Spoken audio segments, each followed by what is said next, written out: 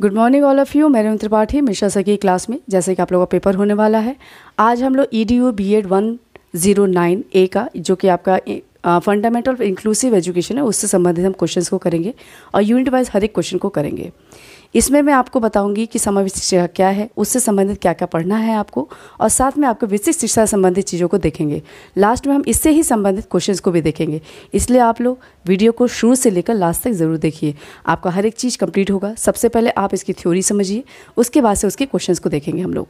चलिए स्टार्ट करते हैं।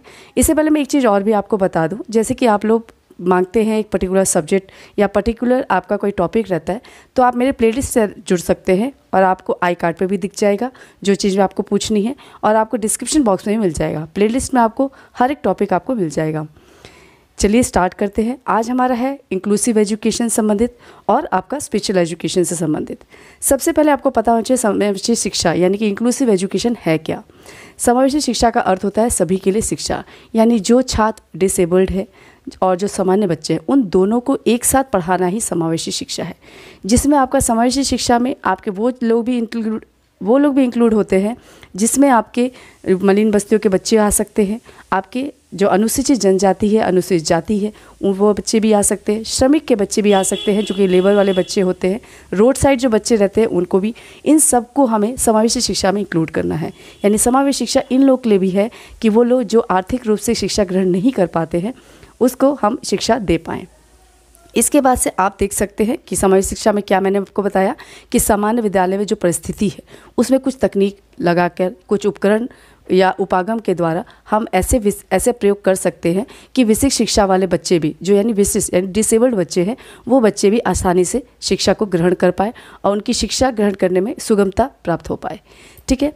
इसके बाद से हम ये भी कह सकते हैं कि शिक्षा प्रणाली का या शिक्षा समावेशी शिक्षा का तात्पर्य ऐसी शिक्षा प्रणाली से है जिसमें सभी छात्रों को बिना किसी भेदभाव के सीखने और सिखाने के समान अवसर मिले हैं। ये आप टॉपिक लिख सकते हैं कि समावेशी शिक्षा का तात्पर्य क्या है। ऐसी शिक्षा प्रणाली से है जिसमें सभी छात्रों को बिना किसी भेदभाव के सीखने व सिखाने के समान अवसर दिए जाते हैं। ठीक है? इसके बाद से हम समाज शिक्षा के बारे में और भी चीज़ें देखेंगे, जैसे कि समावेशक की अवधारणा, यानी कॉन्सेप्ट ऑफ़ इंक्लूजन इसमें आपका संयुक्त राष्ट्र महासभा द्वारा जो अंतर्राष्ट्रीय अधिकार विधेयक है, उसमें स्वीकार किया गया कि घोषणा पत्र के साथ 1948 में समावेशन का अवधारणा को हमें कॉन्सेप्ट को जो हमें स्वीकार किया गया। इसी को ही हम स्वतंत्र रूप से कह सकते हैं कि समावेशी शिक्षा को यहाँ से प्रारंभ कर दिया गया। इसको मैं बता चुकी हूँ कि समावेश का क्या अर्थ है, विभिन्नताओं के बावजूद सभी लोगों को अपनाना। ठीक है? इसके बाद से कई चीज़ें हम इसका महत्व भी देख सकते हैं। इसके महत्व में आपकी बहुत सारी जिम्मेदारियाँ आ जाती हैं। जैसे कि जो समावेशी शिक्षा है, उसको मोटिवेशन देने के लिए सहायक उपकरण जो आपके टूल्स दिए जाते हैं, संसाधन सोर्सेज दिए जाते हैं। कक्षा में भी कई चीज़ें, जैसे टीचिंग एड है, उनको, उनके द्वारा भी हम शिक्षकों को या स्टूडेंट्स को हम व्यवस्था कर सकते हैं स्टूडेंट के लिए व्यवस्था कर सकते हैं कि ताकि उनको जो शिक्षा है वो ग्रहण करने में आराम हो। इसके बाद से हम संचार के माध्यमों के द्वारा भी समावेश शिक्षा को हम बढ़ा सकते हैं, बच्चों का उत्साह बढ़ा सकते हैं, उसमें दृढ़ता जो है, आत्मविश्वास, इनका भी हम, इनको भी हम उत्पन्न कर सकते हैं। यानी बच्चों में क्रिएटिविटी जाग सकती है अगर हम उन्हें मोटिवेट करें, ठीक है? इसके बाद से हमारा आता है इनकी परिभाषाएँ, यानी समावेशी शिक्षा की परिभाषाएँ। सबसे पहले हम लीमैन और वॉलमैन के बारे में बात करते हैं। लीमैन और वॉलमैन ने 2001 में समावेशी शिक्षा के संबंध में परिभाषा दी कि समावेश शिक्षा वह शिक्षण है जो बालकों में बढ़ती भिन्नताओं को ध्यान में रखा जाता है। यानी teaching that take into account the increasing range of difference inclusive between peoples in often called inclusive education ठीक है? मैं फिर से रिवाइज कर दे रही हूँ। Teaching that take into account the increasing range of difference inclusive between people in often called inclusive education इसके बाद से हम ब्लूथ और एनोस्को की बात करें तो उन्होंने 2000 में समाजी शिक्षा संबंधी परिभाषा दी कि स्थानीय विद्यालयों की संस्कृति, पाठ्यक्रम तथा समुदाय में छात्रों की बढ़ती प्रतिभागिता को बढ़ाना तथा उनके अपवर्जन को घटाना शिक्षा में समावेश के रूप में परिभाषित किया है। ठीक है? इसके बाद से हम और भी सारे जो भी है परिभाषा वो भी आप लोग हम देख सकते हैं। जैसे सिम्बा और एनएसको ने लिखा था कि समाजिक शिक्षा वह प्रक्रिया है जिसमें विद्यालय अपने संगठन तथा पाठ्यक्रम के अवसर की समीक्षा करते हैं कि सभी बालकों को एक ऐसा मानने की प्रतिक्रिया देते हैं। मैं फिर से रिवाइज कर दे रही हूँ। समाज शिक्षा वह प्रक्रिया है जिसमें विद्यालय अपने संगठन तथा पाठ्यक्रम के अवसर की समीक्षा करके सभी बालकों को ऐसा एक एक जैसा मानते हुए प्रतिक्रिया कर देते हैं। ठीक है? इसके बाद से हम देखते हैं इनके उद्देश्य की बात करते हैं। समय शिक्षा के अगर हम बात करें उद्देश्य की तो सबसे पहला होता है कि शिक्षा का अधिकार। आपको पता है, संवैधानिक अधिकार है, बच्चे का संवैधानिक अधिकार है शिक्षा ग्रहण करना। यानी समावेशी शिक्षा के अधिकार की बात करें तो वो सकारात्मक प्रयास है। यानी बच्चों को बच्चों, या हमारा एक उद्देश्य होता है कि सभी बच्चों को, चाहे वो मानसिक रूप से, सामाजिक रूप से, शारीरिक रूप से, या संवेगात्मक रूप से कमज़ोर है, उनको एक समान समान बच्चों के साथ शिक्षा प्रदान करना ही हमारा मेन उद्देश्य होता है। ये बच्चे का अधिकार है कि वो वो शिक्षा ग्रहण करे। इसके बाद से दूसरा हम पॉइंट देख सकते हैं उद्देश्य में कि विभिन्नता, विभिन्न कौशलों की पहचान करना। यानी प्रत्येक बच्चा आपका विशिष्ट योग्यता होती है। अगर बच्चे में कोई कमी भी होती है तो कोई ना कोई एक विशिष्ट योग्यता होती है। कोई भी बालक यदि शिक्षा के क्षेत्र में कमज़ोर है या हो सकता है तो वह किसी दूसरे क्षेत्र में प्रतिभा हो सकता है। उसमें दूसरे क्षेत्र में उसका प्रतिभा हो सकता है। जैसे कई बच्चों का आर्ट बहुत अच्छा है, पर उनका बोलने का तरीका या फिर उनको याद करने की क्षमता उनकी कम होती है, पर उनका आर्ट्स बहुत अच्छा होता है तो किसी एक क्षेत्र में भी विशिष्ट योग्यता उनकी हो सकती है। तो इसमें भी ध्यान देना ज़रूरी है। इसके बाद से सभी के लिए समान अवसर समान अवसर दिए जाना, यानी समाज शिक्षा का अर्थ ही होता है कि किसी भी वर्ग का बच्चा है तो वो आप उसमें शिक्षा हम दे सकते हैं। यानी समान, सभी लोगों के लिए समान अवसर दिए जाने चाहिए।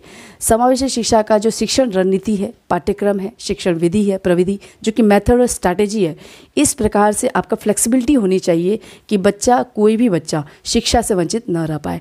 जैसे जो बच्चा है जिसकी जो क्षमता है, योग्यता है, उसी प्रकार से उसको शिक्षा दी जाए। यानी चाहे वो शारीरिक रूप से, मानसिक रूप से या सामाजिक रूप से भी कमज़ोर है, अक्षम है तो हम उसे ऐसी सुविधा दें जिससे वो शिक्षा ग्रहण कर पाए। इसके बाद से आपका आता है सामाजिकता की भावना का विकास। आपको पता है जो निशंक बच्चे होते हैं, जो अक्षम बच्चे होते हैं, वो समाज में अपने आप को सर्वाइव नहीं कर पाते हैं। तो उन बच्चों के लिए भी हमें मैत्रीपूर्ण जो सहयोग की भावना होती है, वो होनी चाहिए। इस प्रकार से क्या होता है कि वातावरण से बच्चे भी स्वयं के, स्वयं को समाज का ही एक अंग मानने लगते हैं। नहीं तो वो आत्मनिर्भर नहीं बन पाते हैं। उनको कुछ कौशलों के द्वारा, कुछ प्रशिक्षण के द्वारा उनको सहायता दी जाती है ताकि वो वो भी सर्वाइव कर पाए समाज में। इसके बाद से आपका आता है अशक्त व बाधित बालकों की क्षमताओं का विकास। इसमें आपको पता है कि बालक समाज का एक अंग है। उसमें भी कई योग्यता, कई कौशल पाए जाते हैं। वो भी इसमें स्किल्स पाए जाते हैं। इसीलिए समाज शिक्षा के माध्यम से इन बच्चों की क्षमता और योग्यता का विकास किया जाता है। ठीक है? इसके बाद से हमारा आता है आप आत्मविश्वास और आत्मसम्मान का विकास करना। ऑब्वियस ही बात है कि ये बच्चे जो डिसेबल्ड है, वो अपने आप को आत्मविश्वास नहीं बना पाते, आत्मसम्मान ढूंढते हैं। जो आपके जनरल बच्चे हैं, जो आपके सामान्य बच्चे हैं, उन लोगों की तरफ़ बनना चाहते हैं। तो उनको उनका आत्मविश्वास कहीं ना कहीं डगमगाया होता है तो उसे मोटिवेट करना पड़ता है, ताकि बच्चे अपने आत्मसम्मान के लिए कार्य कर सकें। इसके बाद है आपका चुनौतियों के लिए तैयार करना। आपको पता है, जो प्रतिभाशाली बच्चे होते हैं, वो चुनौती के लिए हमेशा तैयार रहते हैं। तो हमें समावेशी शिक्षा स्वयं एक चुनौतीपूर्ण कार्य है। आपको पता है, समावेशी शिक्षा क्या है? स्वयं एक चुनौतीपूर्ण कार्य है। इसलिए सभी बच्चों को एक कक्षा में एक ही छत के नीचे एक समान शिक्षा प्रदान करना वास्तव में एक कठिन और चुनौतीपूर्ण कार्य है। क्योंकि जब जनरल बच्चे होंगे, विशिष्ट बच्चे होंगे, इन दोनों को एक साथ पढ़ाना बहुत ही बड़ा टास्क है। तो इस टास्क को हमें पूरा करने के लिए क्या करना है? शिक्षा के अधिकार के पूरे लाभ उठाने हैं, अपना विकास करना है और स्वाभिमानपूर्ण जीवन व्यतीत करने के लिए उनको यहाँ पर तैयार करना है, ठीक है? इसके बाद से हमारा आता है अक्षमता से समर्था की ओर ले जाना। आपको पता है, समावेशी शिक्षा में असमर्थ बच्चों को सामान्य बच्चों के साथ शिक्षा प्रदान की जाती है। तो ऐसे बच्चे यदि सामान्य बच्चों के साथ मिलकर कार्य कर रहे हैं तो इनकी क्षमता का विकास होता है, क्योंकि वो देख कर सीखते हैं कि कैसे कैसे कार्य हो रहा है। वे अन्य बच्चों को देख कर कार्य कार्य करने कोई भी कार्य करने के लिए प्रेरित होते हैं मोटिवेट होते हैं, उनको देख कर मोटिवेट होते हैं। और जब तक बच्चा खुद से मोटिवेट नहीं होगा तो वो कोई भी काम सही तरह से नहीं करेगा। क्योंकि वो, मैं एक, अगर मैं एक टीचर हूँ तो मैं एक स्टूमुलस हूँ उनके लिए। अगर मुझे स्टिमुलस आप मेरे को देख रहे हैं तो आप अनुक्रिया करते हैं। और मेरे लिए आप एक स्टिमुलस है, यानी कि स्टूडेंट मेरे लिए एक स्टिमुलस है, और आपको देख के मैं अनुक्रिया करती हूँ, यानी कि आपको मैं पढ़ाई कर, पढ़ाती हूँ। तो इसका मतलब है कि हम दोनों का मोटिवेशन ज़रूरी है। समाज शिक्षा की विशेषताओं की बात करें तो इसमें आपकी बहुत सारी विशेषताएँ आ जाती है, जैसे सेंस ऑफ़ कम्युनिटी यानी कि सामुदायिकता की भावना। सभी बच्चों को समान, बिना किसी भेदभाव के आपको पढ़ाना, भाईचारा या अपनेपन का दिखाना ही सामाजिक भावना का विकास करना है। यानी आपका समाज में आप कैसे रहेंगे जनरल और आपका स्पेसिफिक यानी दोनों स्टूडेंट्स कैसे सर्वाइव करेंगे, ये आपको बताना है। इसमें आपका क्या होना चाहिए, भाईचारा, अपनापन, ये आपको सामाजिक भावना का विकास कराता है। इसके बाद से समान दृष्टिकोण। अगर मेरा दृष्टिकोण ही सही नहीं है, यानी कि स्टेक होल्डर बोलते हैं ना जो, वो मेरा अगर दृष्टिकोण ही सही है तो मैं आपको सही दिशा नहीं दिखा सकती हूँ। मैं आपको भेदभाव करूँगी। यानी कि सही दृष्टिकोण ही आपको सही कार्य करने के लिए प्रेरित करता है। उसके बाद से आता है समस्या समाधान टोली, यानी प्रॉब्लम सॉल्विंग टीम अगर विशिष्ट आवश्यकता बच्चों की बात करें तो उनकी समस्याएँ बहुत सारी होती हैं। उनका एक उनके लिए एक बहु अनुदेशात्मक टोली का गठन किया जाता है। यानी कि उनको इंस्ट्रक्शन दिया जाता है, बहुत सारे इंस्ट्रक्शन जिसमें विद्यालय और समुदाय दोनों ही दोनों ही एक सदस्य के रूप में कार्य करते हैं और दोनों ही उन्हें मोटिवेट करते हैं कि आप अपने प्रॉब्लम को खुद सॉल्व कर पाएँ। इसके बाद से आपका आता है अभिभावक साझेदारी। पेरेंट्स का इसमें भागीदारी बहुत ज़रूरी है। अगर पेरेंट्स उन्हें मोटिवेट करते हैं, क्योंकि पेरेंट्स पेरेंट्स को सामाजिक समूह का एक सदस्य बनाया जाता है, जिसमें वह अपने बालकों की आवश्यकताओं और क्रियाकलापों को सही तरह से बता पाता है। अगर पेरेंट्स पहले ही बता देते कि मेरे बच्चे में ये कमी है तो टीचर उसके बारे में ध्यान देता है। पहले से ना बताया हो तो हम बच्चों को क्या पता, बच्चे को बच्चों के बारे में गलत सोचें।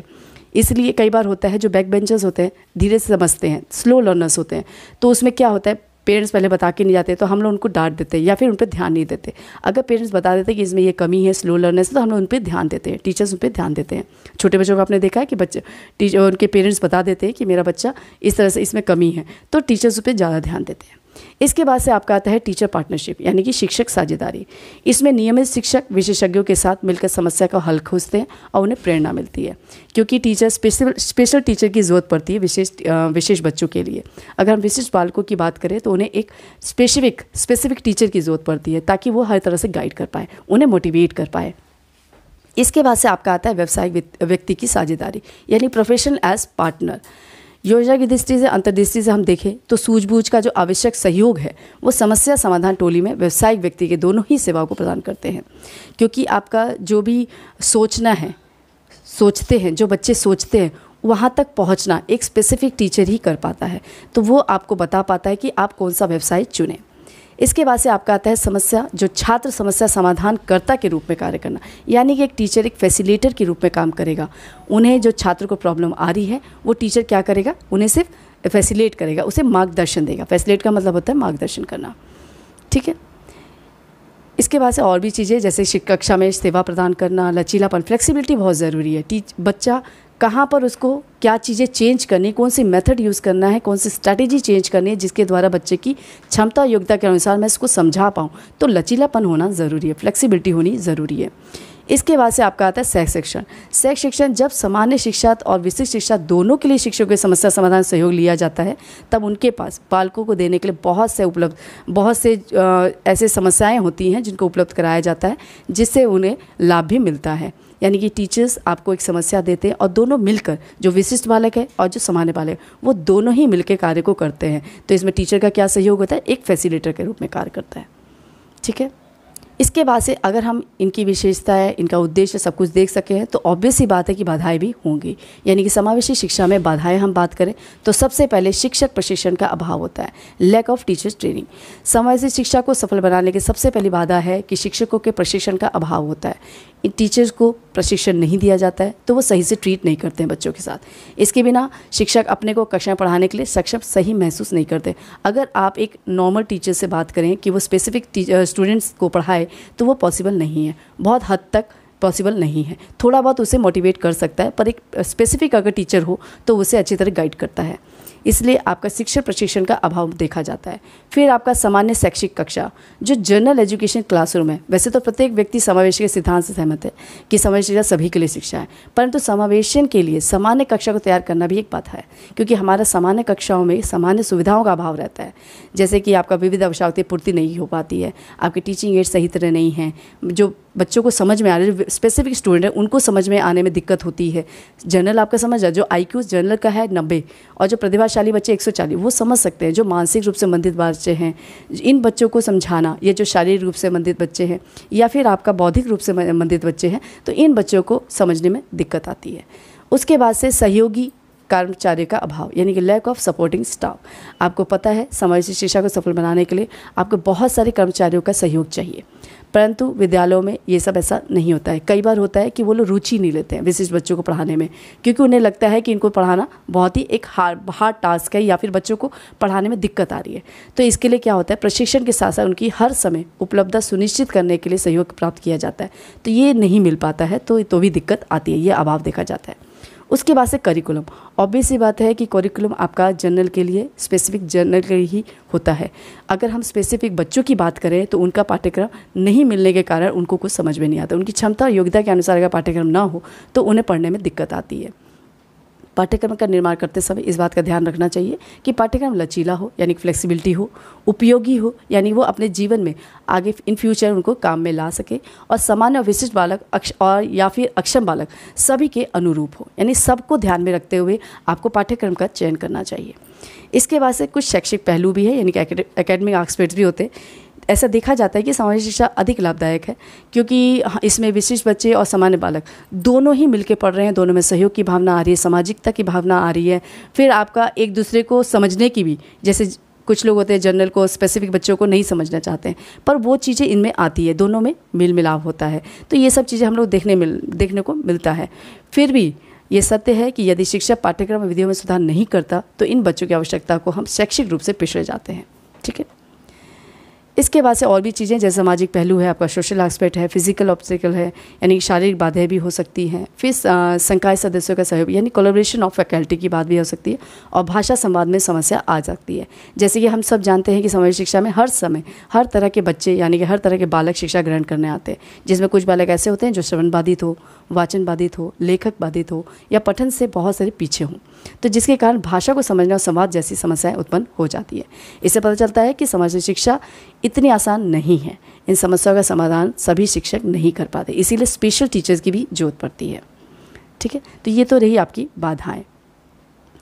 इसके बाद से हमारी कुछ चीज़ें ऐसी हैं जो आपको पता होना चाहिए। जैसे शारीरिक अपंगता और बाधिता और समर्था में अंतर की बात करें तो अगर श्रवण बाधित बच्चे हैं तो उसमें क्या इम्पेयरमेंट हो सकता है? इम्पेयरमेंट डिसेबिलिटी और हैंडीकैप तीनों अलग अलग चीज़ है। इम्पेयरमेंट यानी कि बाधिता डिसेबिलिटी मतलब असमर्थता और हैंडीकैप मतलब अपंगता। अगर हम श्रवण बच्चों की बात करें तो कान रचना का क्षतिग्रस्त होना जैसे कान के पर्दे में छेद होना ये क्या है? इम्पेयरमेंट है यानी कि बाधिता है बाधी बा, बाधक पैदा कर रहा है। और ध्वनि ग्रहण करने में कठिनाई, यानी कि डिसेबल्ड है, यानी वो उसमें एक डिसऑर्डर है, वो ध्वनि को समझ नहीं पा रहा है।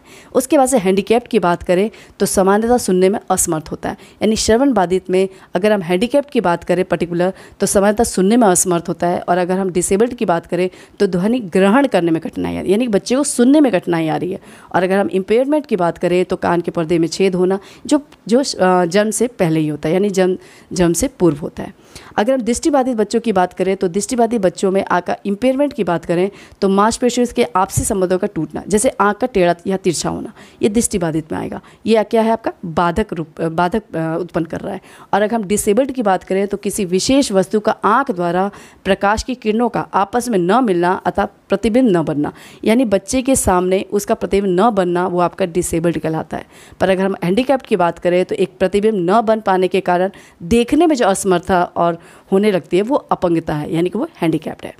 उसी के साथ हम अगर अस्थि की बात करें, यानी कि शारीरिक रूप से अगर अस्थि अक्षम है तो उसकी बात करें तो उसमें हमारा इम्पेयरमेंट क्या है कि भुजा अथवा पैर आदि से पैरालाइज होना या शारीरिक असमानता का न होना, असमानता का होना।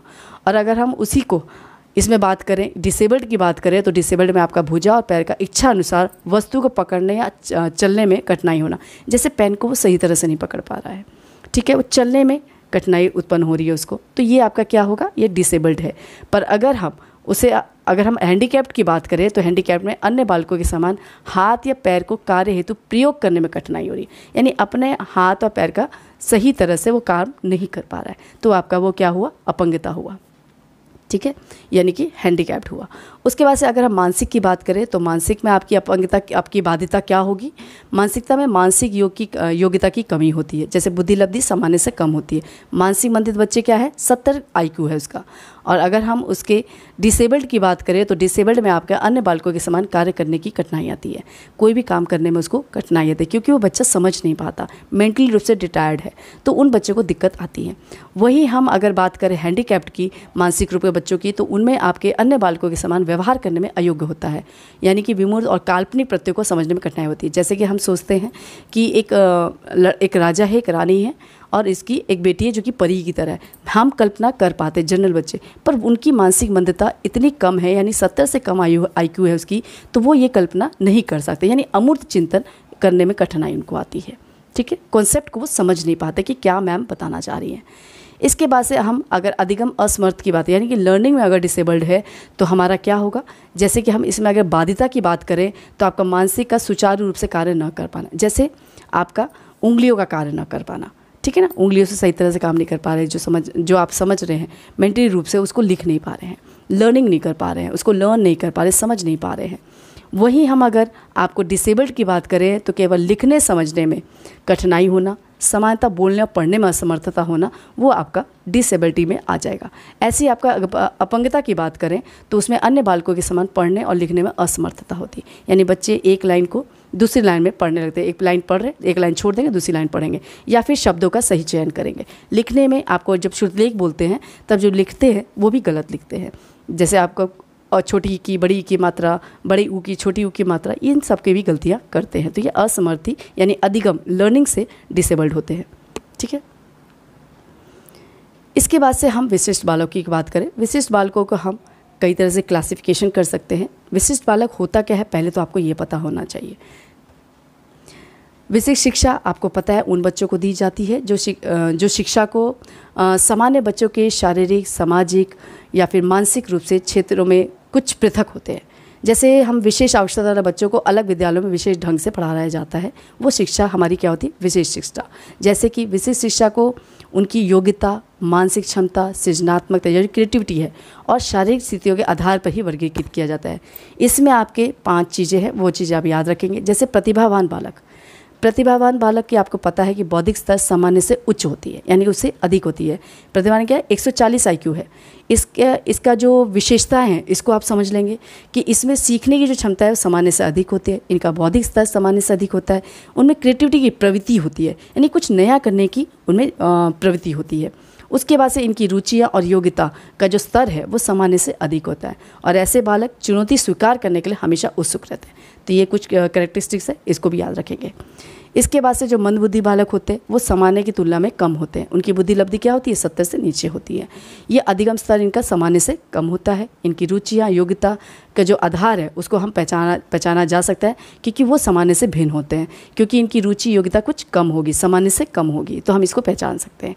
साथ में इनकी आयु के अनुरूप दिए गए कार्यों को पूर्ण नहीं कर पाते। जैसे आपको लग, दिखते हैं आप कि बच्चों की हाइट तो बढ़ रही है उम्र तो बढ़ रही है पर उनका जो आईक्यू है बहुत कम है। तो इससे भी हम देख सकते हैं कि बच्चे में मान, मानसिक मंदता आती है।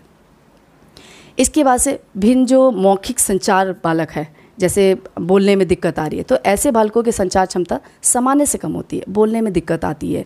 वे अपनी जो अभिव्यक्ति है जो बोलना चाहते हैं उसमें धारा प्रवाह नहीं होता और साथ साथ वो प्रभावी रूप से कोई भी चीज़ प्रेजेंट नहीं कर पाते हैं। तो ये चीज़ें हमारी किसमें आती है? मौखिक रूप से जो संचार में जो अक्षम है उन लोग के लिए। उच्चारण पूर्णतः स्पष्ट नहीं हो पाता है। वो जो बोलते हैं, हमें स्पष्ट समझ में नहीं आता, समझ सुनाई नहीं देता। तो ये सब चीज़ें भी हमारी मौखिक संचार वाले बालक आते हैं। इनको भाषा दृष्टि से आम अक्षम माना जाता है। एक तरह से हम कह सकते हैं कि वो भाषा की दृष्टि से वो सही तरह से कार्य नहीं कर पाते, नहीं, सही तरह से बोल नहीं पाते। तो हम भाषाई दृष्टि से अक्षम मान सकते हैं। इसके बाद से आपका आता है शारीरिक रूप से विकलांग बच्चे, जो कि फिजिकली हैंडीकैप्ड है। तो उनमें क्या है, सबसे पहला पॉइंट क्या हो सकता है इसकी विशेषताओं में कि श्यामपट कार्य को नहीं देख पाते हैं और दृष्टि विकलांगता लक्षण। जैसे कि आप जो चीज़ ब्लैक बोर्ड पर लिखी है, उसको वो सही तरह से देख नहीं पा रहे, गलत लिख रहे हैं। देख कर भी गलत लिखते हैं तो वो दृष्टि विकलांगता के लक्षण है। अगर हमारे शिक्षक के ज़ोर से बोलने पर भी छात्र नहीं सुन पाता है तो वो कौन सा अक्षमता होगी? आपकी श्रवण अक्षमता होगी। वो सुन नहीं पा रहा है सही से। जो टीचर बोल रहा है, तेज भी बोल रहा है, पर स्टूडेंट जो है, वो सुन नहीं पा रहा तो वो श्रवण अक्षमता है, यानी कि आपका डिसेबल्ड है। उसके बाद से सामान्य छात्रों के भांति चलने फिरने में कठिनाई का अनुभव कर रहा है तो वह अस्थि विकलांगता यानी कि उसके फिजिकली कोई दिक्कत आ रही है तो वो सामान्य छात्रों के भांति चल नहीं फिर सकता है। तो ऐसी कठिनाई अगर अनुभव कर रहा है तो वह अस्थि विकलांगता होती है। ये चीज़ें भी आपको याद रखनी है। इसके बाद से मैं आपको इसको रिवाइज़ कर दे रही हूँ उसको भी आप ध्यान से रखेंगे। इससे पहले मैं आपको एक चीज़ और बता दूँ कि स्पेशल एजुकेशन पे मिश्रा सर ने बहुत अच्छा टॉपिक पढ़ाया हुआ है, पूरे डिटेल में पढ़ाया है। इसको आप लोग ज़रूर देख लें। मेरे डिस्क्रिप्शन बॉक्स में मिल जाएगा आई कार्ड में भी आपको दिखाई देगा। आई कार्ड में आप लोग ऊपर देख लेंगे और डिस्क्रिप्शन बॉक्स नीचे में देख लेंगे। तो ये भी आपको मिल जाएगा। टॉपिक आप लोगों को लिखा हुआ है, बस आपको पढ़ने की ज़रूरत है। आप लोग इसको देखिए प्ले से जुड़ जाइए और हर एक टॉपिक को आप क्लियर कीजिए। ठीक है? हम लोग इसको रिवाइज़ कर लेते हैं।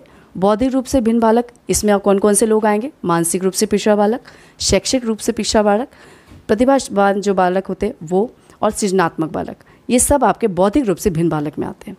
शारीरिक रूप से भिन्न बालक में आपके विकलांगिक लक्षण, जैसे अपंगता होती है, चीरकालिक बीमार या क्षतिपूर्ति स्वास्थ्य, फिर आपका श्रवण क्षतियुक्त और दृष्टि क्षतियुक्त या फिर बहुल विकलांग, जो कि मल्टी हैंडीकैप्ड है, उनको हम किसमें लाते हैं? शारीरिक रूप से भिन्न बालक में। इसके बाद से बहुल विकलांग भी आपका किसमें आता है? मल्टी हैंडीकैप्ड किसमें आएगा आपका? आपके शारीरिक रूप से भिन्न बालक में ही आएगा। फिर हमारा मौखिक संचार के भिन्न बालक में आपका वाक क्षतियुक्त और भाषा विकलांग। मैंने आपको बताया ना, बोलने में कठिनाई और भाषा को समझने में कठिनाई आपकी मौखिक संचार में आता है। इसके बाद से हमारा आता है मनोसामाजिक रूप से भिन्न बालक। इसमें आपके चार पाँच लोग हैं, जैसे कि संवेगात्मक रूप से अशांत बच्चे, सामाजिक रूप से कुसमायोजित बच्चे, समस्यात्मक बालक, अपराधी बालक, ये आपके मनोसामाजिक यानी समाज से जुड़े हुए हैं। समाज में जो गलत काम कर रहे हैं, वो बालक इसमें आते हैं। इसके बाद से आपका आता है सांस्कृतिक रूप से भिन्न बालक। सांस्कृतिक में आपका अधिगम असुविधा युक्त यानी आपको लर्निंग करने में दिक्कत आ रही है। सांस्कृतिक रूप से अल्पसंख्यक, फिर लास्ट में आपका आता है वंचन के आधार पर भिन्न बालक। जो किसी चीज़ से वंचित है, उनके आधार पर भी बच्चे आते हैं। तो ये सब के सब आपके डिसेबल यानी कि विशिष्ट बालक में होते हैं। इसके बाद से आपका संवेगात्मक अस्थिरता वाले बालक होते हैं जो कि इमोशनल डिस्टर्ब चिल्ड्रन होते हैं। तो ऐसे बालक अपने संवेगों को सामान्य रूप से प्रदर्शित नहीं कर पाते। जैसे कि अगर मैंने आपको डांट दिया क्लास में तो बच्चा अपने इमोशंस को रोक लेता है। सामान्य बच्चे क्या करते हैं? रोक लेते हैं। आप मुझे डांटोगे नहीं ना, पर जो जो डिसेबल्ड बच्चे हैं, वो अपने संवेगों को रोक नहीं पाते। जैसे हाथ को हम लोग ऐसे करते हैं या फिर पैर हिलाते हैं या फिर ऐसे। ये हमारे क्या है? इमोशंस को रोकता है। ये हमारे एक्टिविटीज़ क्या इमोशन को रोकते हैं। पर जो अस्थिर बच्चे हैं जो आपके अक्षम बच्चे हैं, वो ऐसा नहीं कर पाते। अपने इमोशंस को रोक नहीं पाते। हैं अपने संवेगों को पूर्ण रूप से नियंत्रित नहीं कर पाते, एक तरह से हम कह सकते हैं। अपने परिवार और समाज के साथ पूर्णतः समायोजन नहीं कर पाते, उनको एडजस्ट करने में बहुत दिक्कत होती है, समायोजन करने में दिक्कत आती है। तो ये सब चीज़ें आपके क्या है? विशिष्ट बालकों में आता है। इसके में आप देख सकते हैं मिश्रा सर ने बहुत अच्छी तरह पढ़ाया इसको आप बिल्कुल देख लेंगे डिटेल में, और मैंने जो पढ़ाया उसको भी आप देखेंगे। इसके साथ साथ हम लोग क्वेश्चन भी करेंगे, इसको भी ध्यान रखेंगे। इसके बाद से आपको कुछ राष्ट्रीय संस्थान भी याद होने चाहिए, जैसे दृष्टि विकलांगता का राष्ट्रीय संस्थान कहाँ है? देहरादून में है। मानसिक विकलांगता का राष्ट्रीय संस्थान कहाँ है? सिकंदराबाद में है। हड्डी विकलांगता का राष्ट्रीय संस्थान कहाँ है? कोलकाता में है। और श्रवण विकलांगता का अलियावर जंग राष्ट्रीय संस्थान कहाँ है? मुंबई में है। मैं फिर से रिवाइज कर दे रही हूँ। दृष्टि विकलांगता का राष्ट्रीय संस्थान आपका देहरादून में। मानसिक विकलांगता का राष्ट्रीय संस्थान आपका सिकंदराबाद में। हड्डी विकलांगता का राष्ट्रीय संस्थान आपका कोलकाता में। और श्रवण विकलांगता का अलीवर वर जंग राष्ट्रीय संस्थान आपका मुंबई में। तो ये कुछ संस्थान भी आपको याद होना चाहिए, आपके पेपर से संबंधित। ये तो रहा आपका डिटेल, आपने समझ लिया कि स्पेसिफिक एजुकेशन क्या है और आपका इंक्लूसिव एजुकेशन क्या है। अब इससे संबंधित हम कुछ क्वेश्चंस को डिटेल क्वेश्चन को, जो कि आपके डिस्क्रिप्टिव क्वेश्चन होते हैं, उसको देखेंगे। उसके बाद हम ऑब्जेक्टिव क्वेश्चन देखेंगे। कम से कम चालीस से पैंतालीस क्वेश्चन हम लोग देखेंगे। सबसे पहला क्वेश्चन आपको पता होना चाहिए कि समावेशी शिक्षा क्या है उससे आप क्या समझते हैं। फिर आपका समावेशी शिक्षा का संप्रत्य को स्पष्ट कीजिए। ऐसा भी कॉन्सेप्ट को स्पष्ट कीजिए। ये भी क्वेश्चन हो सकता है। फिर नेक्स्ट क्वेश्चन आपका बन सकता है कि सामाजिक शिक्षा के चार उद्देश्य बताइए या चार विशेषताएँ बताइए। क्वेश्चन एक और भी बन सकता है, जैसे कि सामाजिक शिक्षा में अध्यापक की क्या भूमिका होती है। ऑब्वियसली बता है बात है कि सामाजिक शिक्षा में एक टीचर एक फैसिलेटर के रूप में काम कर रहा है, यानी मार्गदर्शक के रूप में काम करता है। अगर विशिष्ट शिक्षा की बात करें तो इसमें क्वेश्चन बन सकता है कि विशिष्ट शिक्षा से आप क्या समझते हैं। प्रतिभा संपन्न बालकों की चार विशेषताएँ बताइए। ठीक है? यानी कि डिफाइन गिफ्टेड चाइल्ड या करेक्टरिस्टिक्स बताइए। मानसिक रूप से पिछड़े बालों को परिभाषित कीजिए। अधिगम असमर्थता क्या है? लर्निंग डिसेबिलिटी क्या है? समयगात्मक बुद्धि से आप क्या समझ सकते हैं? फिर समय समयगात्मक यानी विशिष्ट बालकों के प्रकारों को बताइए। जैसे मैंने प्रकार बताया ना, बौद्धिक रूप से, मानसिक रूप से, फिर आपके वंचित बालक, ये सब चीज़ें, संवेगात्मक बालक तो इनके अंतर्गत क्या क्या आते हैं? प्रकार हैं आपके। फिर एक क्वेश्चन और बनता है, एकीकृत शिक्षा। एक एक शिक्षा क्या है? आपको पता है, समावेशी शिक्षा होता है सभी के लिए शिक्षा। वो एक ही स्कूल में आपको सामान्य बच्चे और विस्तृत बच्चे, एक साथ पढ़ाना होता है। पर एकीकृत शिक्षा क्या होता है? एक ही स्कूल में सामान्य और विस्तृत बच्चे पढ़ते हैं। पर विशिष्ट बच्चों के लिए उनकी सुविधा के अनुसार उनको पढ़ाना, उनकी क्षमता, उनकी योग्यता के अनुसार उनको पढ़ाना ही एकीकृत शिक्षा होती है। यानी उनके लिए अलग से उनके टूल्स, उनके जो उपकरण हैं, उनको तैयार करना, उनको तैयार करना। इसके बाद से शारीरिक विकलांगता क्या है, आप इसे क्या समझते हैं, ये क्वेश्चन भी बन सकता है। और कुछ, जैसे कि शारीरिक विकलांगता से आप क्या समझते हैं, उपचारात्मक शिक्षा क्या है मंदबुद्धि बालक की चार विशेषता बताइए, ऐसे ही कुछ क्वेश्चन आपके डिस्क्रिप्टिव बनेंगे। इसके बाद से अब हमारे ऑब्जेक्टिव क्वेश्चन आ रहे हैं। ऑब्जेक्टिव क्वेश्चन आप लोग ध्यान से सुनेंगे। शुरू से लेकर लास्ट तक वीडियो ज़रूर देखना है। पहले आप डिस्क्रिप्टिव देख लीजिए, उसके बाद से आप ऑब्जेक्टिव क्वेश्चन को देखिए, ताकि आप उन क्वेश्चंस को कर पाएँ। चलिए स्टार्ट करते हैं। सबसे पहला क्वेश्चन आपका बनता है, समावेशी शिक्षा का अर्थ है। इसका पहला ऑप्शन है, ऐसी शिक्षा व्यवस्था जहाँ केवल दिव्यांग बालक की शिक्षा का ध्यान दिया जाता है। दूसरा ऑप्शन है, ऐसी शिक्षा जो बच्चों को अच्छे गुणों का समावेश करता है। थर्ड है, ऐसी शिक्षा व्यवस्था जहाँ बच्चों के परिवेश में केवल सकारात्मक तत्वों का समावेश हो, और लास्ट ऑप्शन है, ऐसी शिक्षा व्यवस्था जहाँ दिव्यांग और सामान्य बालक साथ साथ पढ़ सकें। तो मैंने इसमें आपको बताया है कि जब आपके सामान्य बच्चे और विशिष्ट बच्चे एक साथ पढ़ते हैं तो वो समावेशी शिक्षा होता है, यानी कि सभी के लिए शिक्षा। तो इसका आंसर क्या होगा? डी डी इसका आंसर है, ऐसी शिक्षा व्यवस्था जहाँ दिव्यांग और सामान्य बालक साथ साथ पढ़ सके, वो समावेशी शिक्षा है। ठीक है? नेक्स्ट क्वेश्चन है, आपका समय शिक्षा का महत्व है। पहला ऑप्शन है, छात्रों में सहनशीलता के गुणों का विकास। दूसरा है, आपके दूसरे के व्यक्तित्व के सम्मान की भावना का विकास। थर्ड है, मानव संसाधन का सही निर्माण। और लास्ट है, उपरोक्त सभी। तो इसका आंसर है डी, उपरोक्त सभी। समय शिक्षा के महत्व की बात करें तो ऑब्वियस ही बात है कि हम सहनशीलता गुणों का विकास करेंगे। दूसरे के व्यक्ति के सम्मान की भावना का देखेंगे, यानी कि जो विशिष्ट बालक है, उनको भी सम्मान की दृष्टि से देखेंगे। समान भावना, पक्षपात नहीं करेंगे, मानव संसाधन का सही निर्माण करेंगे, तभी तो हमारी शिक्षा का महत्व बन पाता है। उसके बाद से नेक्स्ट क्वेश्चन आपका है, समावेशी शिक्षा का मुख्य सिद्धांत नहीं है। नहीं की बात करें क्वेश्चन को आप ध्यान से सुनेंगे। पहला ऑप्शन है छात्रों के विचारों पर ध्यान। दूसरा है दिव्यांगों की अभिप्रेरणा का सिद्धांत, तीसरा है छात्रों के साथ कोई भेदभाव नहीं, और लास्ट है छात्रों की व्यक्तिगत विभिन्नता का सम्मान। तो इसका आंसर है बी दिव्यांगों की अभिप्रेरणा का सिद्धांत। ये इसमें नहीं इंक्लूडेड है। समावेशी शिक्षा क्या है? कि छात्रों के विचार, जो वो आइडियाज़ है, उन पर ध्यान दिया जाए। उनमें कोई भेदभाव ना किया जाए, व्यक्तिगत विभिन्न क्योंकि हर एक बच्चा इंडिविजुअल है तो उनका सम्मान किया जाए, ये मैंने इससे पहले क्वेश्चन में देखा। उसके बाद से आप देख सकते हैं, दिव्यांग की अभिप्रेरणा का सिद्धांत इसमें इंक्लूडेड इसलिए नहीं है, क्योंकि विशिष्ट बच्चा अगर हमें खुद से मोटिवेट नहीं हो सकता तो हमें मोटिवेट करना पड़ता है। तो अभिप्रेरणा का सिद्धांत इसमें इंक्लूड नहीं होगा। इसके बाद से आपका क्वेश्चन आता है, समावेशी शिक्षा विशेष क्षेत्र नहीं है। पहला ऑप्शन है आदिवासी बच्चे, दूसरा ऑप्शन है घुमंतु बच्चे तीसरा ऑप्शन, केवल कामकाजी महिलाओं के बच्चे और लास्ट है, गंभीर बीमारी से पीड़ित बच्चे। तो इसका आंसर है सी, जहाँ केवल लिख दिया ओनली तो वो गलत आंसर होगा, ठीक है? समाजी शिक्षा का विशेष क्षेत्र, आपका आदिवासी बच्चे हैं, जनजाति, अनुसूचित जनजाति, अनुसूचित जाति, घुमंतु बच्चे, श्रमिक के बच्चे, कामकाजी महिलाओं के बच्चे, गंभीर बीमारी से पीड़ित बच्चे, ये सभी लोग इस क्षेत्र में आते हैं। पर अगर हम लिख देंगे केवल कामकाजी महिलाएँ तो इसमें इंक्लूडेड नहीं होगा, ठीक है? इसके बाद से आपका क्वेश्चन बनता है, निम्न में से कौन विविधतापूर्ण शिक्षार्थी के वर्ग में शामिल पाए जाते हैं? पहला ऑप्शन आपका है अनुसूचित जाति, दूसरा आपका वंचित वर्ग, तीसरा है पिछड़ा वर्ग और लास्ट है ये सभी। तो इसका आंसर है डी ये सभी। अभी मैंने आपको बताया विविधता विविधतापूर्ण शिक्षार्थी का वर्ग, यानी क्षेत्र की बात करा, इसमें अनुसूचित जाति, अनुसूचित जनजाति, वंचित वर्ग, फिर पिछड़ा वर्ग, फिर मानसिक रूप से वर्ग ये सब के सब समावेशी शिक्षा के अंतर्गत आएँगे। ठीक है, इसका आंसर है डी ये सभी। नेक्स्ट क्वेश्चन है, निर्धन बच्चों के लिए किस प्रकार की शिक्षा की व्यवस्था की गई है? पहला ऑप्शन है, मध्यान्ह भोजन योजना। दूसरा, निःशुल्क शिक्षा। तीसरा है छात्रावास। और लास्ट है, ये सभी। इसका आंसर है डी ये सभी। अगर हम विशिष्ट बच्चों की बात करें, निर्धन बच्चों की बात करें तो ऑब्वियस ही बात है कि जो मिड डे मील बनाया गया है वो उन्हीं बच्चों के लिए बनाया है पहले तो हमारा ग्रॉस एनरोलमेंट रेशियो बढ़े और साथ साथ बच्चों को जो एक टाइम का खाना उसके पेरेंट्स कर पाते हैं, वो उनको खाना मिल पाए। फिर निःशुल्क शिक्षा दे पाएँ, क्योंकि वह आर्थिक रूप से पिछड़े होते। तो उनको निःशुल्क और अनिवार्य शिक्षा की बात की गई।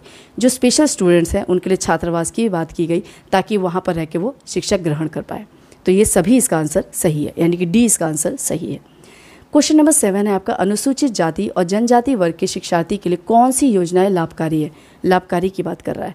पहला ऑप्शन है आंगनबाड़ी केंद्र, दूसरा है सर्व शिक्षा अभियान, तीसरा है मिड डे मील और लास्ट है ये सभी। इसका आंसर क्या होगा? डी आप सभी समझ गए हैं ना? अनुसूचित जाति और जनजाति की बात करें तो उसमें आपकी कौन कौन सी योजनाएँ हैं? आंगनबाड़ी केंद्र, जो आपके आंगनबाड़ी कॉलेज गाँव में होते हैं, उनको। फिर आप सर्व शिक्षा अभियान, यानी कि सभी के लिए शिक्षा, इसमें मिड डे मील भी इंक्लूडेड है तो ये सब चीज़ें आपकी योजनाएँ बनाई गई हैं। नेक्स्ट क्वेश्चन आपका अनुसूचित जाति और जनजाति वर्ग के शिक्षार्थी कौन सा शिक्षण केंद्र, यानी कि आपका इंस्टीट्यूट की बात कर रहा है, कौन सा खोला गया है? पहला ऑप्शन आपका प्रौढ़ शिक्षा केंद्र, दूसरा अनौपचारिक शिक्षा केंद्र, तीसरा ए और बी दोनों, और लास्ट है शैक्षणिक आरक्षण। तो इसका आंसर क्या होगा? सी, ए और बी दोनों। अगर हम अनुसूचित जाति और जनजाति के शिक्षार्थियों की बात करें और उनके शिक्षण केंद्र की बात करें तो प्रौढ़ शिक्षा केंद्र, जो कि आपका, जो बच्चे नहीं पढ़ पाते, जो लोग नहीं पढ़ पाते, ज़्यादा समय, यानी बीस साल के बाद पढ़ना चाहते हैं तो उनके लिए प्रौढ़ शिक्षा केंद्र बनाया गया, ताकि जब पढ़ने बोलते हैं ना शिक्षा की पढ़ने की कोई उम्र नहीं होती। तो वो बच्चे पढ़ पाते हैं। उनके लिए क्या बनाया गया? प्रौढ़ शिक्षा केंद्र बनाया गया। अनौपचारिक शिक्षा केंद्र, जो बच्चे ज़्यादा फ़ीस दे के नहीं पढ़ पाते। उनके लिए ऑनलाइन सुविधा दी गई है, ताकि वो लोग क्या कर पाए? शिक्षा ग्रहण पर कर पाए। कम ही रुपये में शिक्षा ग्रहण पर कर पाए। तो ये भी आप देख सकते हैं। नेक्स्ट क्वेश्चन है आपका, कक्षा में एक छात्र है, जो अक्सर श्यामपट पर लिखे शब्दों और अंकों को उल्टा लिखता है। साथ ही सीधी रेखा खींचने में स्वयं को अक्षम पाता है। उसमें क्या अक्षमता होगी? क्वेश्चन को फिर से रिवाइज कर रही हूँ। कक्षा में एक छात्र जो अक्सर श्यामपट पर लिखे शब्दों और अंकों को उल्टा लिखता है, साथ ही सीधी रेखा खींचने में स्वयं को अक्षम पाता है। उसे क्या उसे क्या अक्षमता होगी? पहला है दृश्यात्मक डिसलेक्सिया, दूसरा है आपका श्रवणात्मक डिसलेक्सिया, तीसरा है आपका काइनेस्थिक डिसलेक्सिया और लास्ट है आपका बी और सी दोनों। तो इसका आंसर क्या होगा? बी और सी दोनों। इसमें आंसर क्या होगा? श्रवणात्मक डिसलेक्सिया यानी सुनने में उसको दिक्कत हो रही है, तभी तो वो श्यामपट पे लिखे शब्दों को, अंकों को उल्टा लिख रहा है। उसके बाद से सी आपका क्यों होगा काइनेसी यानी कि उसको रेखा जो खींच रहा है, उसके बॉडी से संबंधित, आपके मूवमेंट से संबंधित होता है काइनेसिक डिसलेक्सिया तो वो भी आपका इसमें आएगा। यानी कि बी और सी इसका आंसर सही होगा। नेक्स्ट क्वेश्चन है डिसकैलकुलिया का संबंध है। पहला है गणितीय अक्षमता, दूसरा है दृश्य अक्षमता, तीसरा है भाषाई अक्षमता, और लास्ट है काइनेस्टिक अक्षमता। इसका आंसर है ए, गणितज्ञ, गणितीय अक्षमता से। डिसकैलकुलिया यानी कि कैलकुलेशन में गणना करने में अक्षमता आ रही है तो वो गणितीय अक्षमता है, यानी उसमें डिसकैलकुलिया डिसऑर्डर है। ठीक है? इसके बाद से जैसे आप ग्राफी है कोई दिक्कत है, लिखने में संबंधित है, वो डिस्ग्राफी है। तो ऐसी भी चीज़ें आपको याद होनी चाहिए। नेक्स्ट क्वेश्चन है आपका, एक कक्षा में शिक्षण के दौरान अध्यापक पाता है कि एक छात्र वैसे तो सामान्य दिखाई देता है, लेकिन वह गणित से भागता है। अध्यापक के अनेक प्रयास के बाद भी वो गणित करने को तैयार नहीं होता। तो आपके अनुसार क्या सर्वाधिक संभावित हो सकता है? पहला ऑप्शन है, छात्रों को डिसलेक्सिया हो सकता है। दूसरा है, छात्र डिसकैलकुलिया से ग्रसित हो सकता है। तीसरा है, छात्र में अभिप्रेरणा की कमी हो सकती है। और लास्ट है, उसे गणित की उपयोगिता ही नहीं पता है।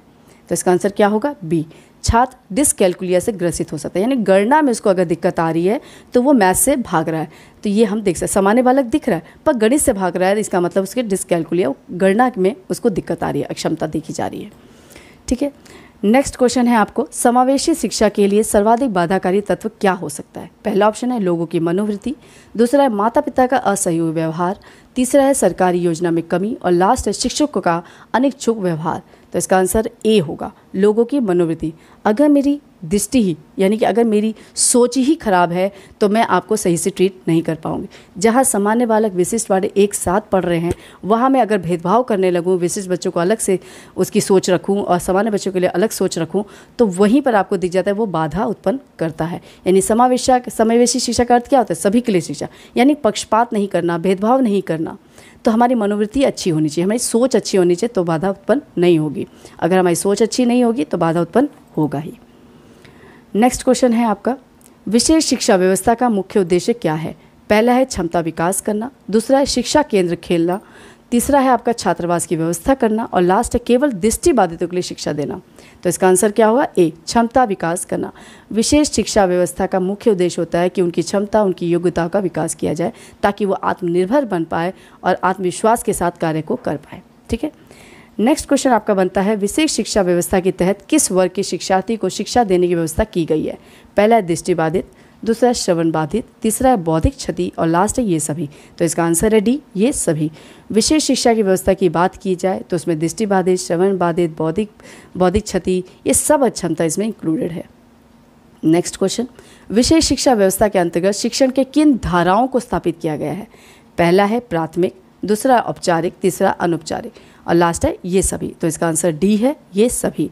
विशेष शिक्षा व्यवस्था की बात करें तो इसमें धाराओं में कौन संबंधित है? इसमें प्राथमिक शिक्षा भी आती है, औपचारिक फॉर्मल एजुकेशन भी दी जा रही है और इनफॉर्मल भी एजुकेशन दी जाती है। नेक्स्ट क्वेश्चन है, निम्न में कौन समावेशी शिक्षा व्यवस्था के प्रमुख उद्देश्य में शामिल है? पहला है क्षमता विकास, दूसरा है भावना विकास, तीसरा है आत्मनिर्भर बनाना और लास्ट है ये सभी।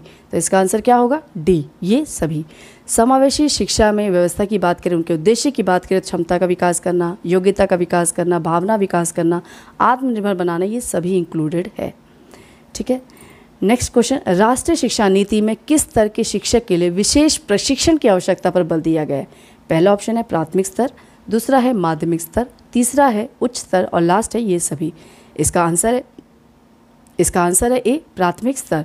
राष्ट्रीय शिक्षा नीति में अगर हम स्तर की बात करें तो प्राथमिक स्तर के शिक्षक के लिए विशेष प्रशिक्षण की बात की गई है। उस पर सबसे ज़्यादा फोकस किया। अगर बेसिक ही अच्छा नहीं होगा तो आगे वो कार्य नहीं कर पाएगा। इसलिए बेसिक पर सबसे ज़्यादा बल दिया गया है। नेक्स्ट क्वेश्चन निशक्त व्यक्ति अधिनियम 1995 ये डेट आपको याद रखनी है।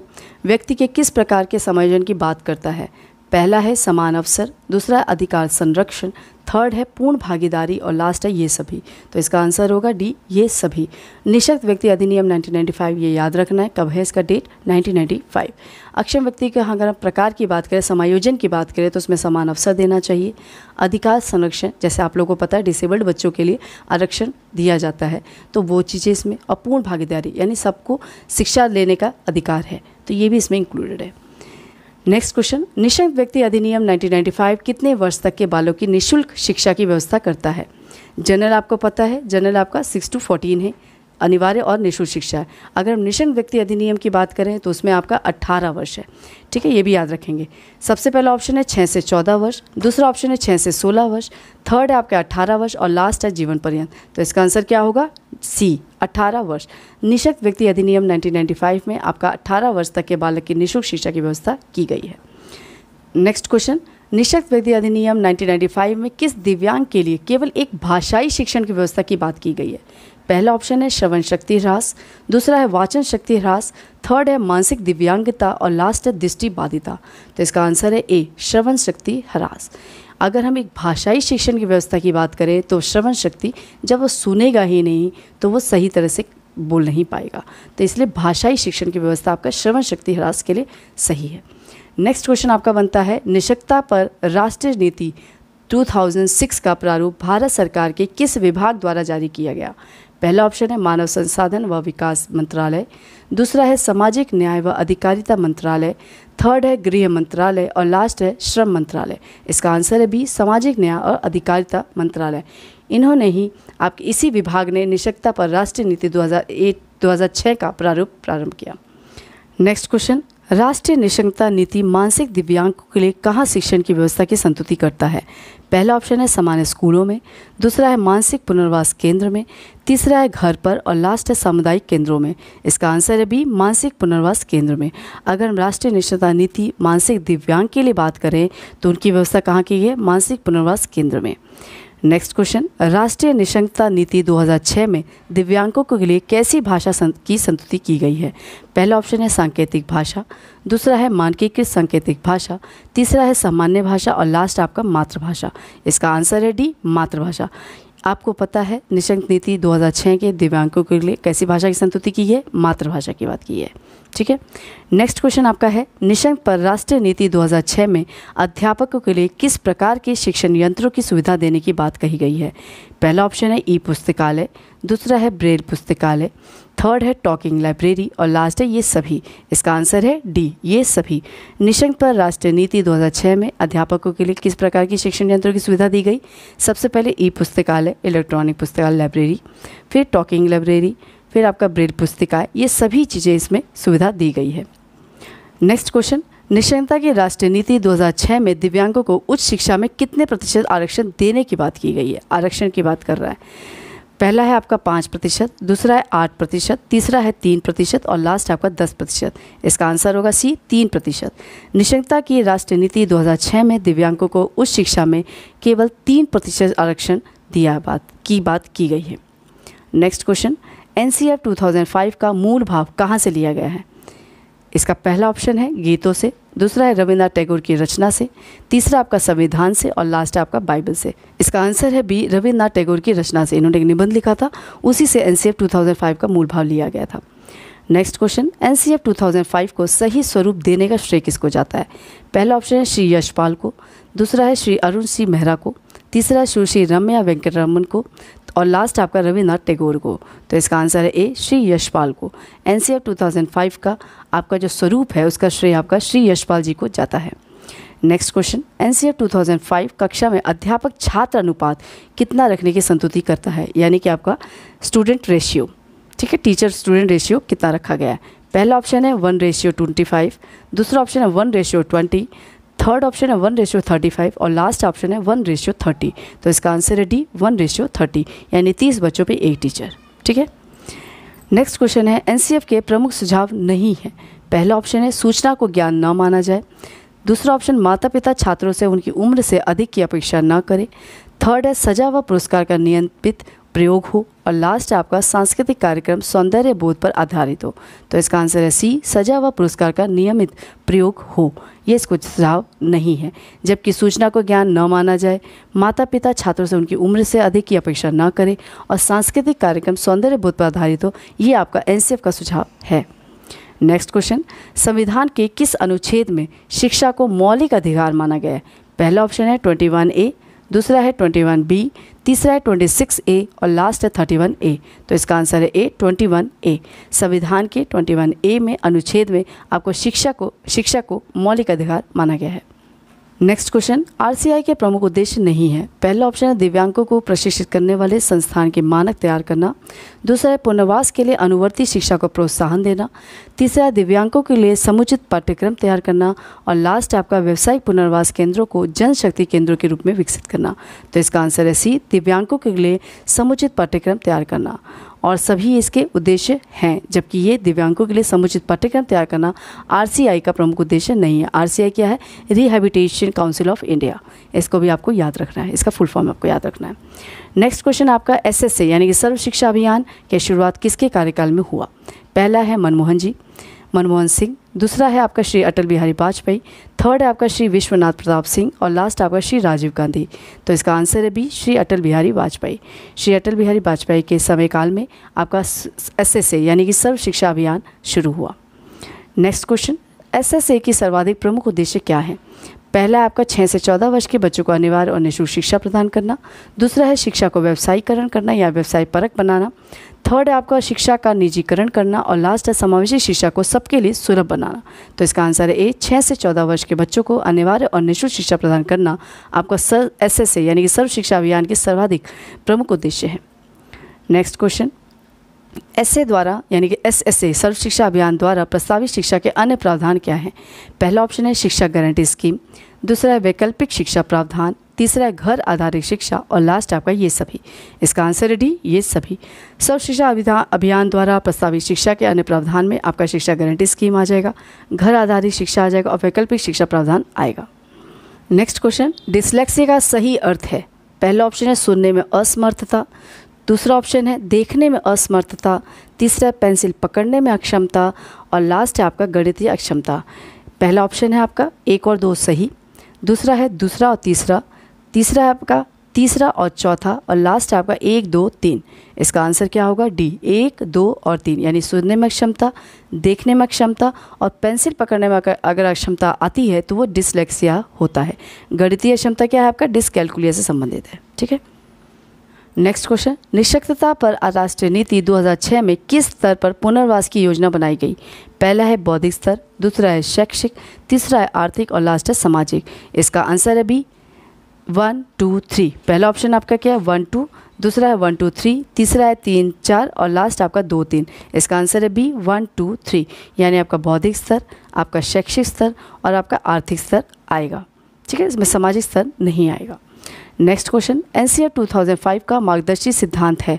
पहला ऑप्शन है ज्ञान को बाहरी जीवन से जोड़ना। दूसरा छः से चौदह वर्ष तक के बच्चों को निःशुल्क शिक्षा देना। तीसरा है कक्षा का जीवंत वातावरण। फोर्थ है आपका लचीला मूल्यांकन। और लास्ट आपका पुस्तक केंद्रित पाठ्यचर्या।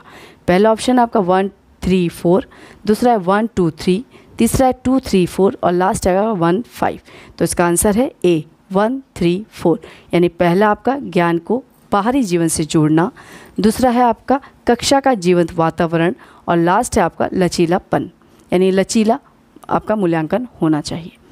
नेक्स्ट क्वेश्चन है, कक्षा में जीवन वातावरण से आप क्या क्या तत्पर है या क्या समझते हैं? पहला ऑप्शन है, कक्षा में छात्रों को अध्यापक न रोके दूसरा है, सब कुछ छात्रों के अनुसार हो। तीसरा है, छात्र और अध्यापक दोनों को अपनी बात कहने का समान अवसर मिले। और लास्ट है, आपको कक्षा में पाठ्यक्रम के साथ सह शैक्षिक गतिविधियाँ भी हो। इसका पहला ऑप्शन है, केवल तीन। दूसरा है, केवल चार। तीसरा है, तीन और चार। और लास्ट है, ये सभी। तो इसका आंसर है सी तीन और चार। तीन में क्या है, छात्र और अध्यापक दोनों को अपनी बात कहने का समान अवसर मिलना चाहिए। मैं जो पढ़ा रही हूँ, बच्चे को समझ में आए, उनको स्वतंत्रता देनी चाहिए कि वो अपनी बात रख पाए। जो उन्हें समझ आ, नहीं आ रहा है, वो मुझसे पूछ सके। तो उनको स्वतंत्रता देनी चाहिए और समान अवसर देना चाहिए कि तक वो अपनी बात कह पाए। ठीक है? और फोर्थ क्या है आपका? कक्षा में पाठ्यक्रम के साथ सह शैक्षिक गतिविधियाँ भी हो, यानी कि आपकी और भी करिकुलम हो। ठीक है? नेक्स्ट क्वेश्चन समावेशी शिक्षा के संदर्भ में निम्न को सही क्रम में रखें। आपको सीक्वेंस लगाना है। पहला ऑप्शन है, बाधित छात्रों में आत्मनिर्भरता की भावना, दूसरा प्रजातांत्रिक मूल्यों की प्राप्ति, तीसरा है बाधित छात्रों का पुनर्वास और लास्ट आपका बाधित छात्रों को समाज की मुख्य धारा से जोड़ना। पहला ऑप्शन है वन फोर थ्री और टू दूसरा ऑप्शन है वन टू थ्री फोर तीसरा ऑप्शन है फोर वन थ्री टू और लास्ट है इनमें से कोई नहीं। तो इसका आंसर है ए सही। सबसे पहले आपका बाधित छात्रों में आत्मनिर्भरता की भावना को पैदा करना होता है। फिर उन बच्चों को समाज की मुख्य धारा से जोड़ना। फिर बाधित छात्रों का पुनर्वास और लास्ट में आपका प्रजातांत्रिक मूल्यों का प्राप्ति होता है ठीक है? नेक्स्ट क्वेश्चन हम लोग मैच द फॉलोइंग करेंगे। इसको आप देख लें। पहले मैं ए बी सी डी बता देती हूँ उसके बाद से उसकी सूची बताऊँगी। पहला आपका राष्ट्रीय शिक्षा नीति का संशोधित रूप दूसरा आपका एनसीएफ तीसरा है निशक्तों पर राष्ट्रीय नीति और लास्ट है निशंक व्यक्ति अधिनियम। और आपके सूची में क्या है? 2005, 1995, 2006, 1992 और 2002 इसमें आपके ऑप्शन है थ्री टू वन फोर दूसरा ऑप्शन है फोर टू वन थ्री, तीसरा ऑप्शन है थ्री फाइव वन टू और लास्ट ऑप्शन है फोर वन टू थ्री। इसका आंसर है डी सही। यानी कि राष्ट्रीय शिक्षा नीति का संशोधित रूप आपका कब आया? 1992 में। एनसीएफ आपका 2005 में आया। निशक्तों का राष्ट्रीय नीति आपका 1995 में आया और निशक्त व्यक्ति अधिनियम आपका 2006 में आया। इसे भी आप लोग याद रखेंगे। और भी हम कुछ मैच द फॉलोइंग क्वेश्चन करते हैं। जैसे सर्व शिक्षा अभियान राष्ट्रीय शिक्षा नीति निशक्त पर राष्ट्रीय नीति भारतीय पुनर्वास परिषद अधिनियम। इसकी सूची में है 2006, 1992, 2002, 1986 और 2005 इसमें ऑप्शन है थ्री फोर वन टू दूसरा ऑप्शन है फाइव फोर थ्री टू तीसरा ऑप्शन है फोर फाइव टू थ्री और लास्ट ऑप्शन है वन टू फाइव थ्री। इसका आंसर है A three four one two. यानी कि सर्व शिक्षा अभियान कब आया आपका? टू थाउज़ेंड टू में। वो अप्लाई हो गया था। ठीक है? टू थाउज़ेंड में आ गया था टू थाउज़ेंड टू में उसको अप्लाई कर दिया था। उसके बाद से आपका राष्ट्रीय शिक्षा नीति कब आई थी? 1986 में। फिर आपका आया है निश्चितता पर राष्ट्रीय नीति, अभी हमने पढ़ा 2006 में। फिर आपका आता है भारतीय पुनर्वास परिषद अधिनियम, ये कब आया आपका? 1992 में। ये भी डेट्स आपको याद रखनी है। एक और मैच द फॉलोइंग कर लेते हैं हम लोग। आरसीआई यानी कि रिहेबिटेशन काउंसिल ऑफ़ इंडिया दूसरा है UNCRPD फिर आपका है निश्चित व्यक्ति अधिनियम और लास्ट आपका निश्चितता पर राष्ट्रीय नीति।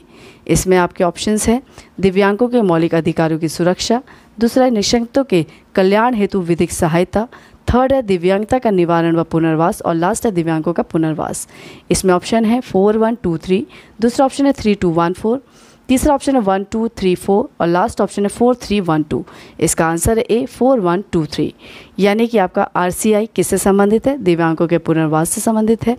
फिर आपका U N C R P D जो कि आपका दिव्यांगों के मौलिक अधिकारों की सुरक्षा की बात करता है। फिर आपका निशक्त व्यक्ति अधिनियम हमने अभी पढ़ा था तो वो किससे संबंधित है आपका? निशक्तों के कल्याण हेतु विधिक सहायता से संबंधित है। और जबकि आपका निशक्तता का राष्ट्रीय नीति आपका संबंधित किससे दिव्यांगता के निवारण और पुनर्वास से संबंधित है। ऐसे हम लोग एक और मैच द फॉलोइंग करते हैं, जो कि आपका डिसलेक्सिया से संबंधित है। दिशात्मक डिसलेक्सिया श्रवणात्मक डिसलेक्सिया काइनेस्थिक डिसलेक्सिया और डिसकैलकुलिया तो इसमें आपके जो सूची है दूसरी, उसमें देख लीजिए, वर्ग या अंक उल्टा लिखना, दिखना। दूसरा है सुनने में असमर्थता। तीसरा है लिखने में समस्या और लास्ट आपका गणित अधिगम में कठिनाई। तो इसका आंसर है, इसमें आपके ऑप्शंस है। वन टू थ्री फोर दूसरा है टू वन थ्री फोर तीसरा है थ्री वन टू थ्री और लास्ट है फोर टू वन थ्री तो इसका आंसर क्या है? ए सही है। यानी कि आपका दृश्यात्मक आपका क्या है? आप जब सही से देखते नहीं हो तो क्या है? वर्ग या अंक उल्टा दिखना। वो देखने में दिक्कत आ रही है। श्रवणात्मक डिसलेक्सिया क्या है? सुनने में क्षमता श्रवण मतलब सुनना। सुनने में क्षमता आ रही है तो श्रवणात्मक डिसलेक्सिया हो गया। काइनेस्टिक क्या है? आपका लिखने से समस्या। ठीक है? यानी कि आपके मूवमेंट से। फिर डिस्क्यूलकुलिया आपको पता है, गणित अधिगम की कठिनाई अगर आ रही है तो डिस्कैलकुलिया है। ठीक है? ये मैच द फॉलोइंग भी आप लोग ध्यान से देखेंगे। और भी हम लोग मैच द फॉलोइंग कर लेते हैं। 1987 में क्या हुआ था? 1992 में 1995 और 1999 इसमें आपकी अलग सूची क्या है? निशक्त व्यक्ति अधिनियम, यानी पीडब्ल्यूडी एक्ट, फिर मानसिक स्वास्थ्य अधिनियम, भारतीय पुनर्वास परिषद अधिनियम और स्वालीनता प्रमस्तिक अंकघात मानसिक मंदन और बहुनिश्चितता से पीड़ित व्यक्तियों हेतु राष्ट्रीय न्यास अधिनियम। तो इसके हम लोग ऑप्शन देख लेते हैं टू थ्री वन फोर दूसरा है फोर टू थ्री वन तीसरा है थ्री वन टू फोर और लास्ट आपका वन थ्री फोर टू। इसका आंसर है A two three one four A यानी कि आपका ए टू से मिला या 1987 आपका मानसिक स्वास्थ्य अधिनियम से संबंधित है। 1992 आपका भारतीय पुनर्वास परिषद अधिनियम से संबंधित है, जिसको हमने पहले देखा। 1995 आपको अभी पता है, मैंने अभी बताया था पीडब्ल्यू एक्ट से संबंधित है, यानी निशक्त व्यक्ति अधिनियम से संबंधित है।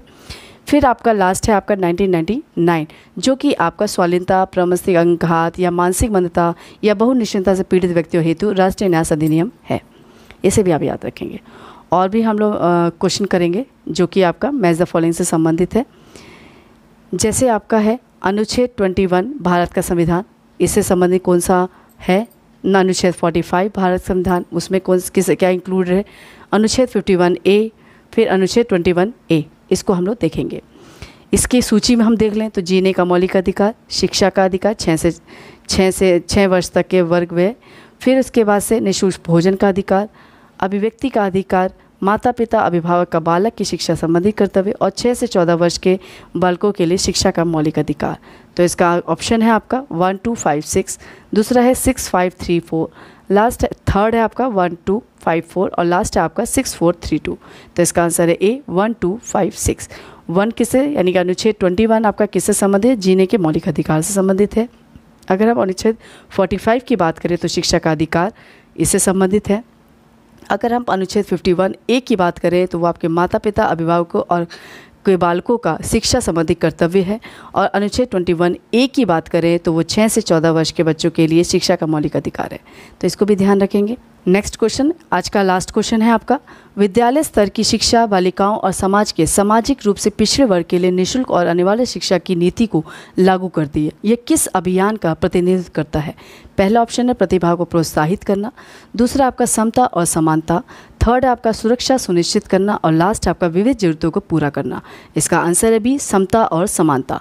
विद्यालय स्तर पर शिक्षा बालिकाओं और समाज के सामाजिक रूप से पिछड़े वर्ग के लिए निःशुल्क और अनिवार्य शिक्षा की नीति को लागू करती है तो यह अधिनियम, यह अभियान किससे संबंधित है?